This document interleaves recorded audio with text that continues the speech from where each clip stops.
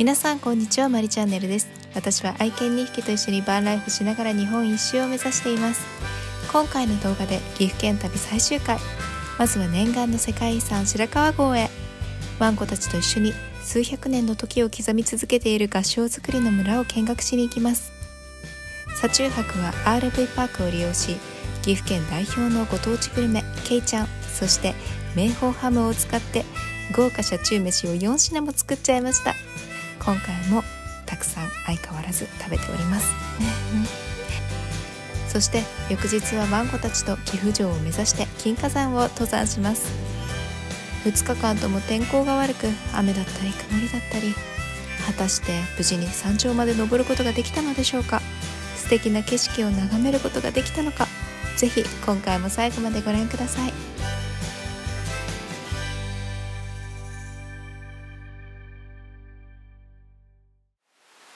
皆さんこんにちは、まりチャンネルです。本日もご視聴いただきありがとうございます。岐阜県旅最終日になりました。念願の念願だった白川郷に来て、ワンちゃんと一緒にお散歩巡りをして、そして最後ね、車中泊もして、しっかりと岐阜飯を作って堪能しようかなと思っています。そしてそして、できたら明日の朝にですね、岐阜城まで金華山っていう350メートルぐらいかなの山があるんですけどそこにワンちゃんと一緒に登山して今回の旅を締めようと思います。ということで本日のマリチャンネルも最後まで見ていただけると嬉しいで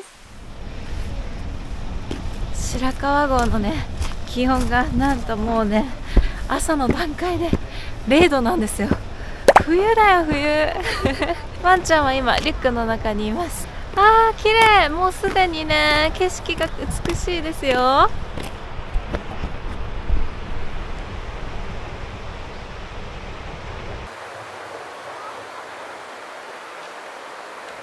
この橋は出会い橋といって駐車場からこの橋を渡って白川郷の街中に入っていく感じになります。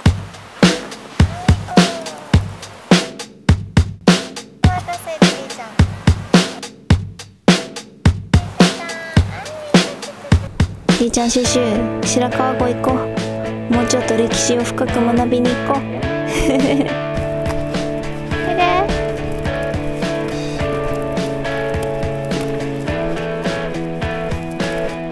シュシュ橋渡れるかな？水の音が苦手だから。あいけるいける。ほら歩けるよ。シュシュ歩けるね。さすが世界遺産です。観光客のほぼ9割以上が外国人さんですね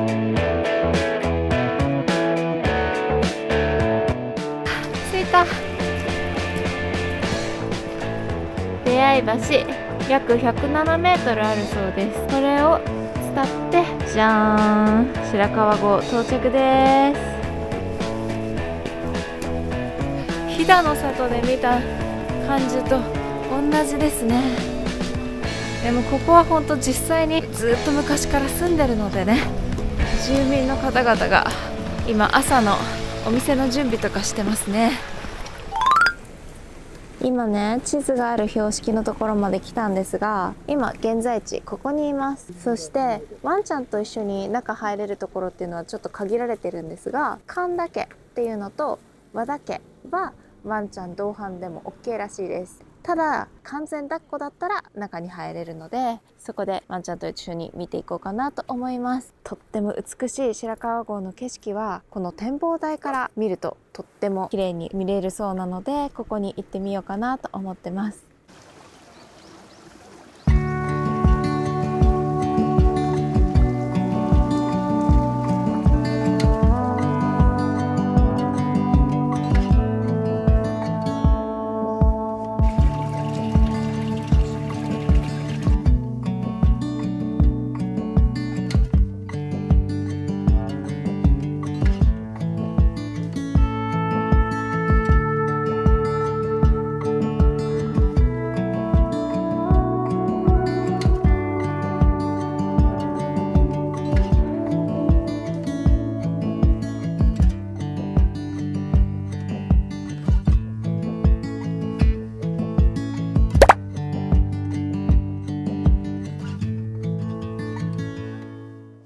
だん天気が悪くなってきましたね。やっぱり山が近いと天気がコロコロ変わりやすくなるみたいで。本当はね今日曇りだったんですけどもう昼過ぎぐらいから雨の予報に変わっちゃいましたね。先に展望台の方に行こうと思います。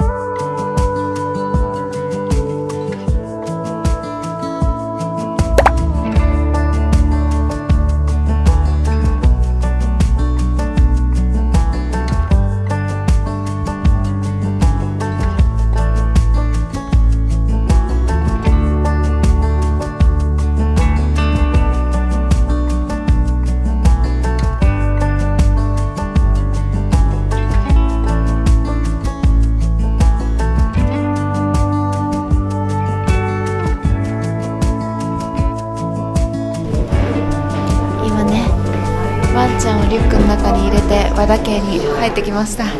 2階エリアも見れるそうなので早速見ていこうと思います。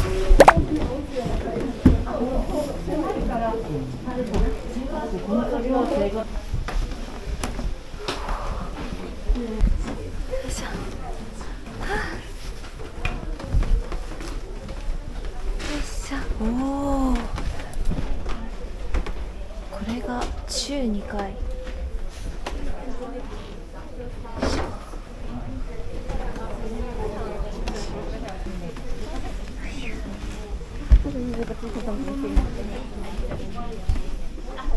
うわあすごい広いめっちゃ広いじゃないですか眉があるよわすごい7月7日七夕の日だ。に孵化した1回目のお蚕さん。えー、眉になりました。すごい。本当に作ってるんだ。めちゃめちゃ広いですね。おおわー景色あーすごい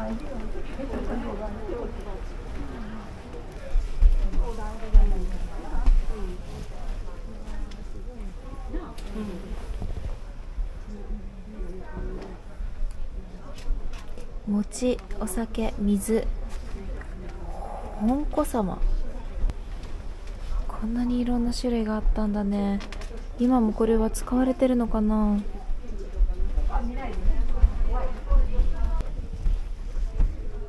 セータ薪などの重いものを背負う時に使用してました。なんかすごいしっかりしてそうだね。雪国だもんね。ミノゴ重いものを背負う時に背中を保護するために使用していました。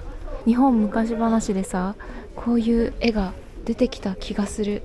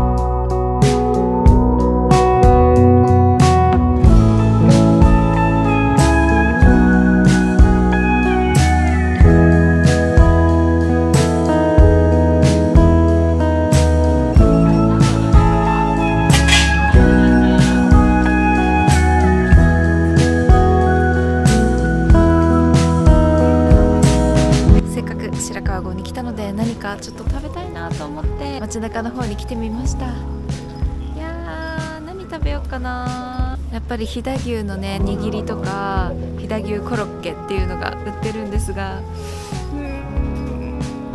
それじゃないものにしようか。それともやっぱり飛騨牛を食べたいから食べようか。悩んでます。ワンちゃん抱っこしてれば店内 OK っていうお店が結構多かったです。なのでそこでね何かお土産を買うのもいいしあとはテイクアウトできるお店も結構あるので何か買っていこうと思います。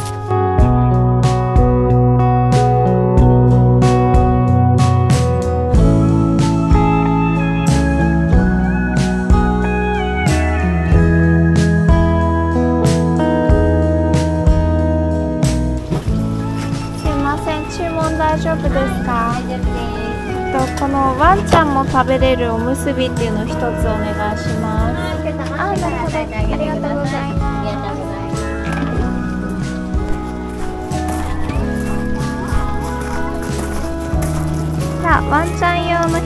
おむすびだよ。ひーちゃん ここさ人がいっぱいいるからさ河原の方まで戻って食べよっか。ね。じゃーん。ワンちゃん用の飛騨牛おにぎり。ちょっとご飯の中に飛騨牛が入ってる感じですね。このマドラーでほぐしてあげるみたい。待てよ。ちょっとずつあげるね。まずシュシュ。はい行こう。アリーちゃん。はい、優しく。優しく。そうそうそうそうそうそうそう。おお一口でいった。待てよ。はいこう。美味しいんだね本当に。飛騨牛とお米が。待てよ。はい。いや私もちょっと食べてみるうん。美味しい。贅沢だな君たち。普通に。めっちゃ美味しいんだけど。いやでも。いっぱい歩いてよく頑張ってくれてるから。ね。あご飯粒ついてるシュシュ。ここは？お顔見して。ご飯粒。はいはいはいこれ念願の白川郷に来れてとっても楽しかったです。ありがとうございました。白川郷のあの合掌造りと言われるお家の屋根はちょうどこの手と手を合わせて合掌してるような形。そしてここから肘の部分までこの傾斜の部分を表しているんだそうです。そして角度はなんと60度も急な角度になっているそうなんですがなぜこんなに急な角度なのかと言いますとここの地域やはり積雪量がとても多いので角度をねしっかりとつけることによって雪が積もりづらくなるんだそうです。お家の構造上一番下が軸組になっていて上が小屋組になってるんですがその一番下の軸組は専門的な大工さんがしっかりと作っているんだそうです。しかしこの小屋組の部分は地元の方たちが皆さん集まって作られているんだそうでなんか釘とかねそういうものを一本たりとも使っていないそうなんです。その小屋組と軸組がしっかりと分かれていることによって養蚕しやすい環境になっているんだそうですなのでね和田家で実際に見学した時に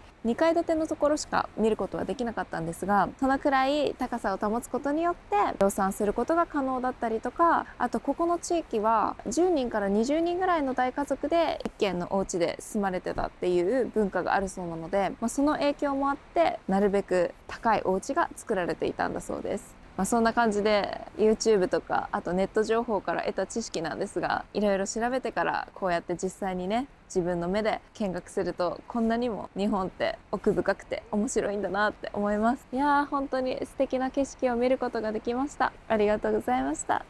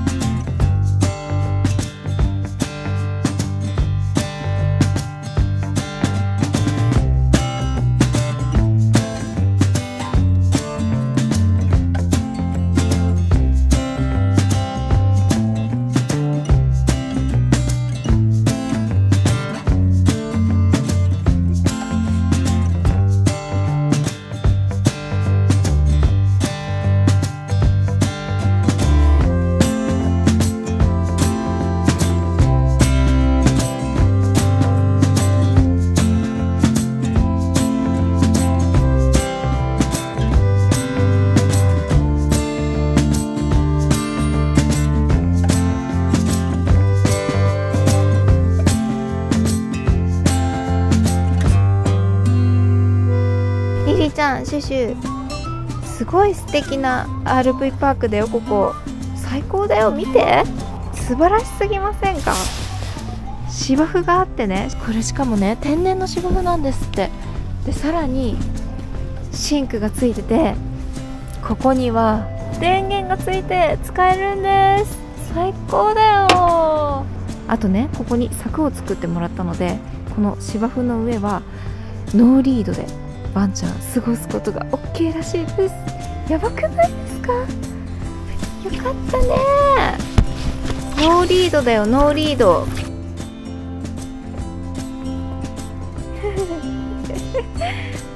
おしっこ我慢してたね。でワンちゃんがおしっこしたらこのじょうろで流すんだって。いいい子いい子ね。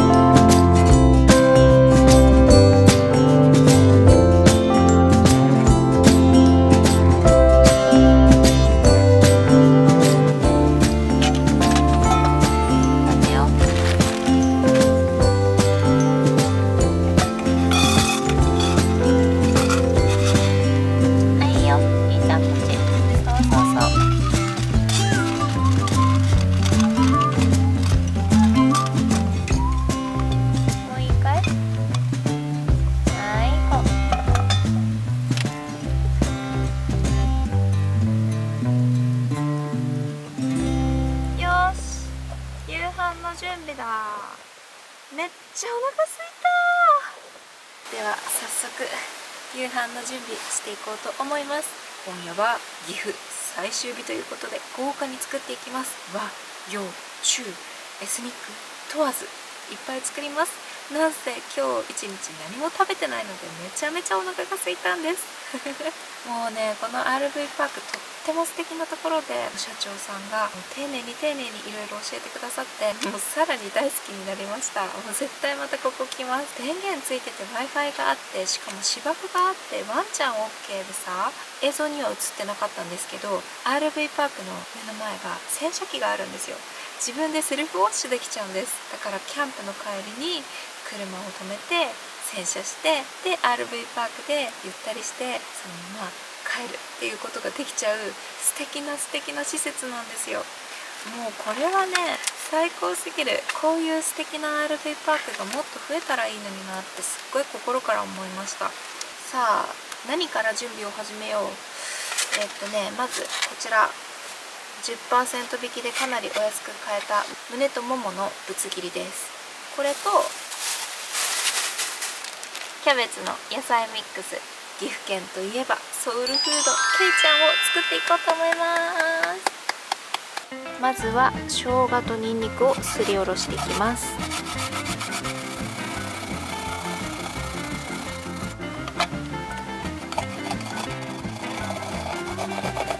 あーお腹すいた。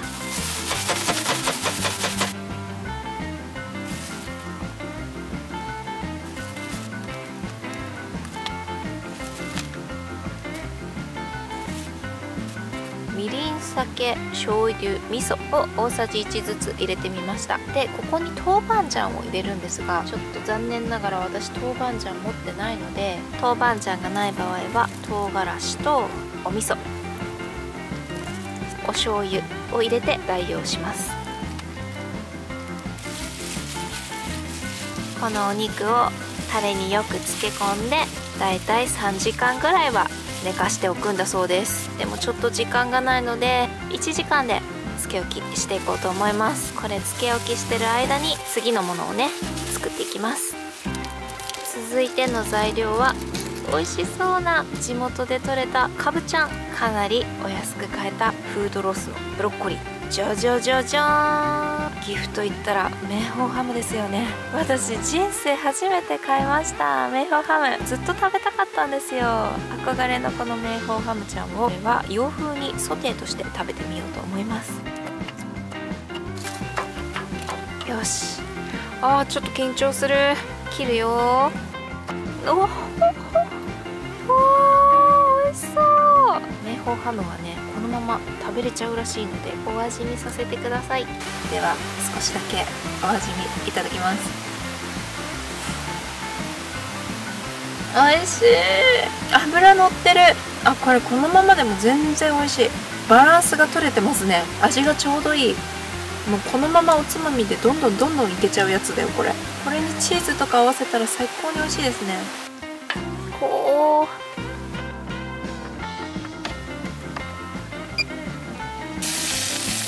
ベーコンとカブを先にオリーブオイルで炒めていきます。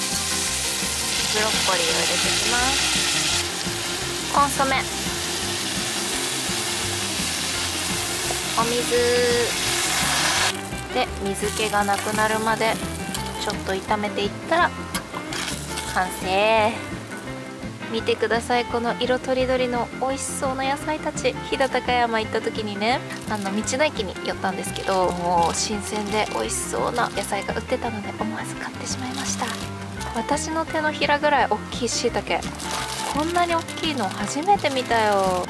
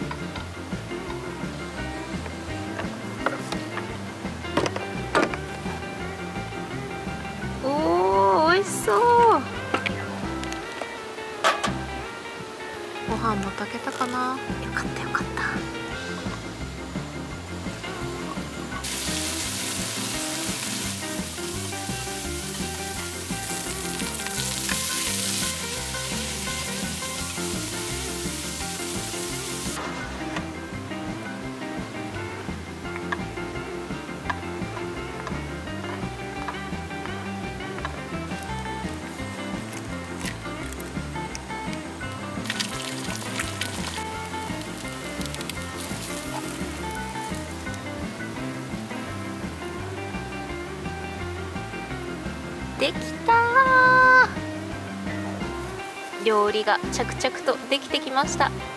そして最後の仕上げは1時間半漬け込んだけいちゃんを焼いていきます。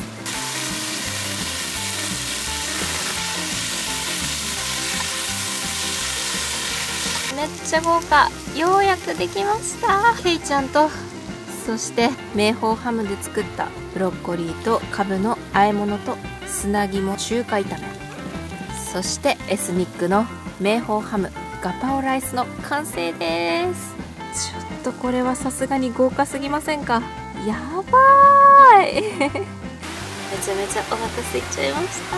それではそれではいただきます。何から食べよう？美味しそう！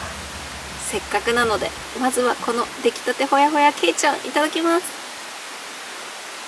熱そう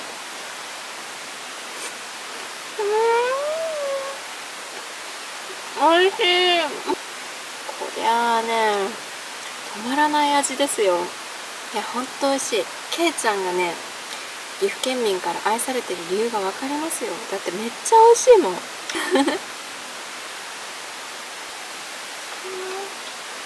あー生姜とニンニク効いてる。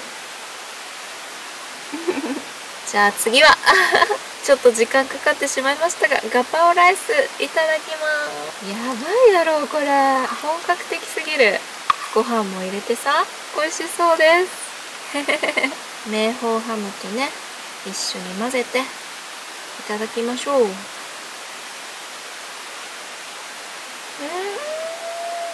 美味しい。明宝ハムって本当に万能ですね。普通のハムと違って脂身がしっかりとあるのでなんかちょっとベーコンに近いのかな。とってもとっても味が染みて美味しいです。あーこれは最高だ。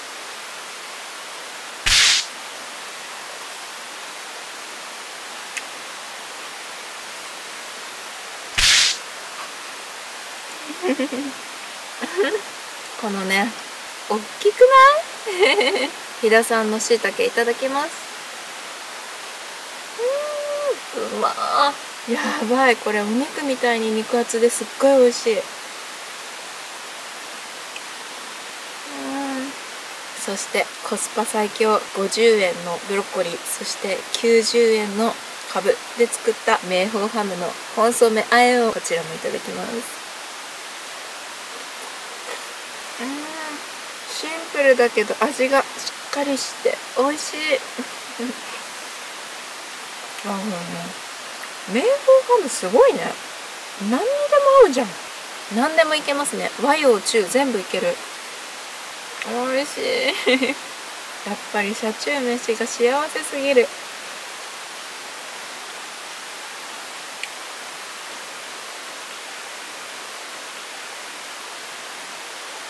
明日は岐阜城に行ってで金華山をワンちゃんと一緒に登っていってそれで岐阜旅最後になるんですがそこで締めようと思います。今日はもうね早めに寝て明日登山岐阜城に備えようと思います。おやすみなさい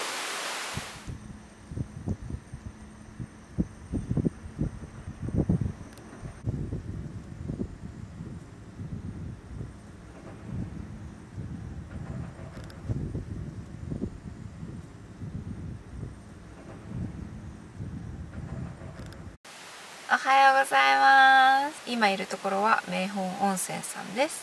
とってもとっても気持ちよかった。ありがとうございました。大人1人700円で入れるそうなんですがジェフの会員だったら割引が効いて650円で入れました。ありがとうございました。ということで今から岐阜城を目指して登山しに行ってこようと思います。本当はね朝早く 行く予定だったんですがもうせっかくだからねここで温泉入りたいなと思って入っちゃいました。ということで現在の時刻12時なんですが安全運転に車を走らせてそれでは岐阜城を目指して行ってきます。今日は登山行くよ。おーストレッチ効いてるね。準備運動はいいかな？よし。じゃあ岐阜城を目指して頑張って登ろうね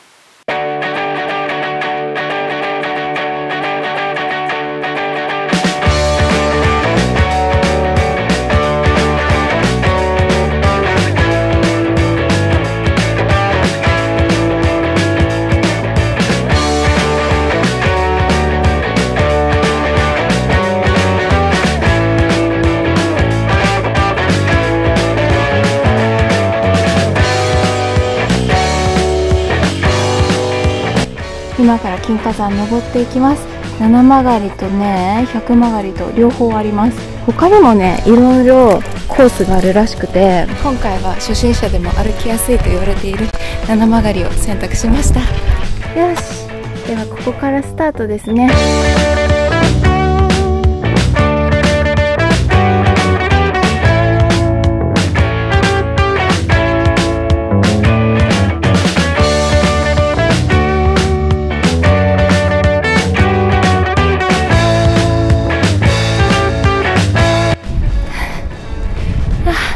しいねやっぱり。緑がねまだ残ってるし森林浴とそしてちょっと紅葉も見えるのが気持ちがいいですね。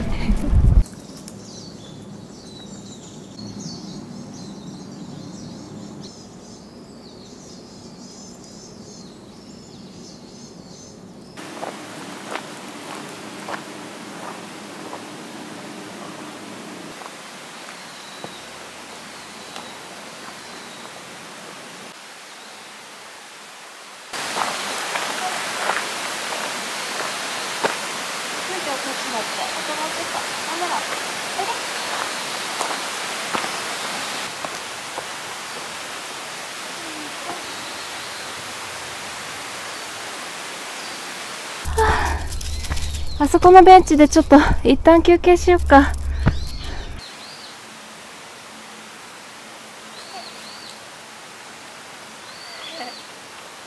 ー、日が傾いてきた。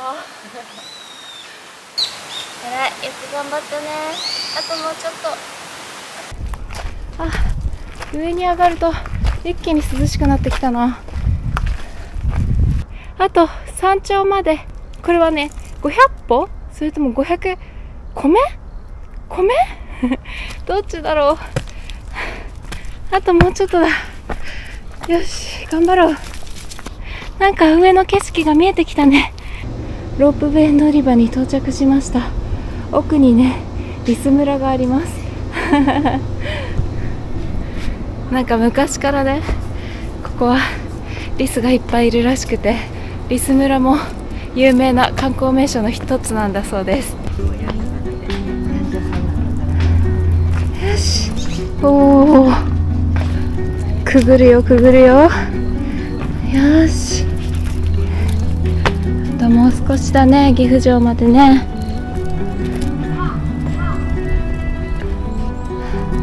今、善一の門跡っていうところにいるんだ。石垣とかがあるあたりよりちょっと下の方だね。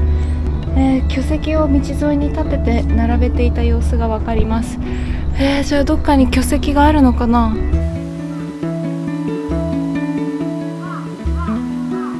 ここにね岐阜城の歴代城主の名前が一覧になって貼ってあります。2番目3番目4番目5番目と続いてそしてついに織田信長が岐阜城と改めたんですね。